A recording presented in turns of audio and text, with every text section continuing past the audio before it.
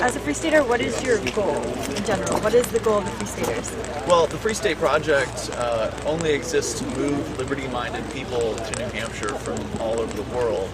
Um, so that's really the extent of what the Free State Project is. It's just simply a, a project to encourage people to come to New Hampshire uh, and to get active in, in, a variety of different ways. And those ways can include, uh, you know, include protesting, as we might be doing today, or outreach, um, perhaps, you know, running for political office, doing civil disobedience, creating media. I mean, there's a variety of different ways one can be active.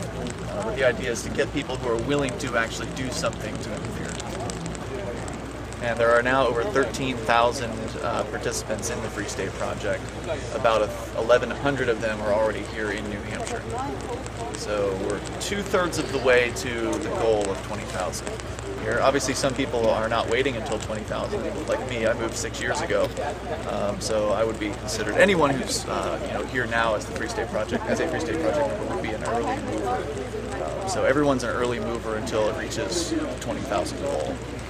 Where did you live before? Like, how did you find out about this Project? I was living in Sarasota, Florida, was where I was born and raised, and uh, I found out online. I don't remember exactly, you know, what channels I, you know, where I, exactly what website I saw it on, but I saw it somewhere online, I think, and this was like a decade ago.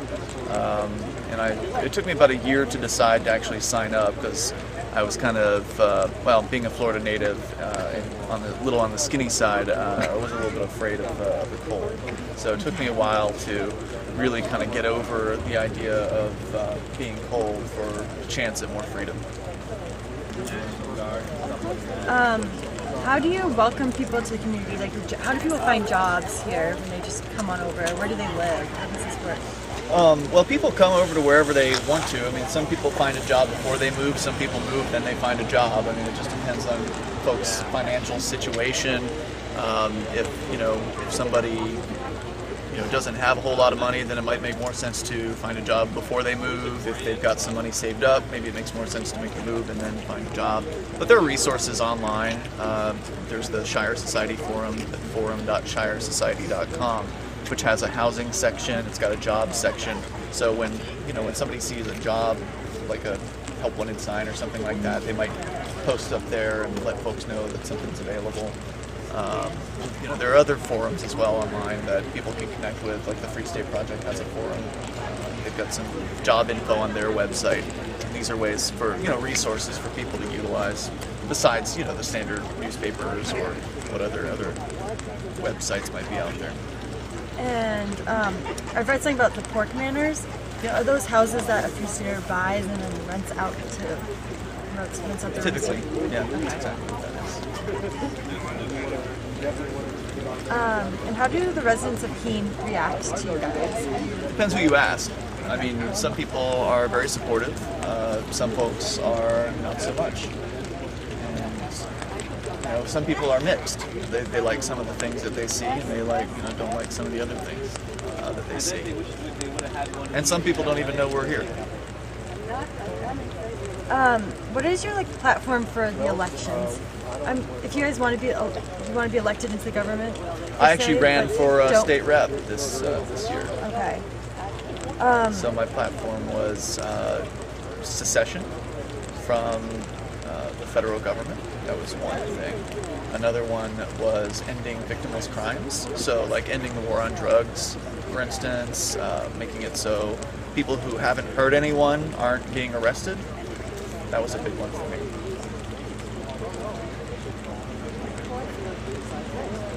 So, if you did get elected, what would you would you try to end government? How would this? I'm confused at how this would work exactly. Well, that's not exactly something you can do overnight, right? You can't just push a button and make uh, make the state disappear.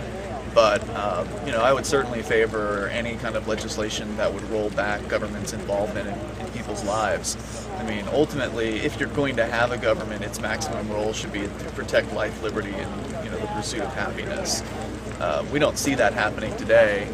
Uh, know, the Keene Police Department here has done drug raids on uh, people's homes over an ounce of marijuana.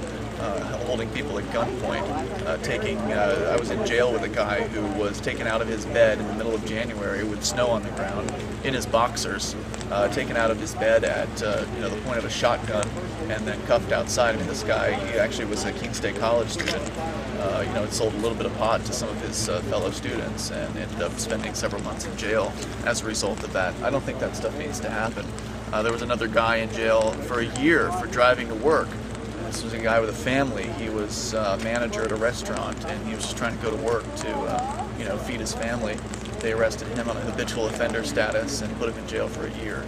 And these aren't unusual stories; they're very typical. The, you know, the state ruins people's lives, and I don't appreciate that. How do you think the um, 2012 election went? Well, I mean, terribly for uh, it would have gone terribly any way it went. I mean, whether it was Mitt Romney or uh, or Barack Obama, they're both the same. Uh, so there wasn't really. It was more of an illusion of choice, as it usually is. Mitt Romney, John McCain, Barack Obama. They're all they all have the same principles. They all come from the same belief system, and that is that it's their right to control people and tell people how to live their lives. So anyway, whoever wins, we lose uh, when it comes to the elections. Now, on a local level, things went all right because you know we actually did get some Free State Project participants elected. Uh, some were re-elected, some were elected for the first time, and some were elected after having missed a missed a term. So that's that's always nice to see. What are your plans for the 2016 election? 2016. Uh, well, for 2014, I'll be running again. Actually, in 2013, I'll be running for city council. Um, so, I mean, we've got plans way before the 2016 elections. I'm, I'm not even anywhere near 2016 at this point. Okay. Maybe we'll be seceded by then. We won't have to worry about the federal government.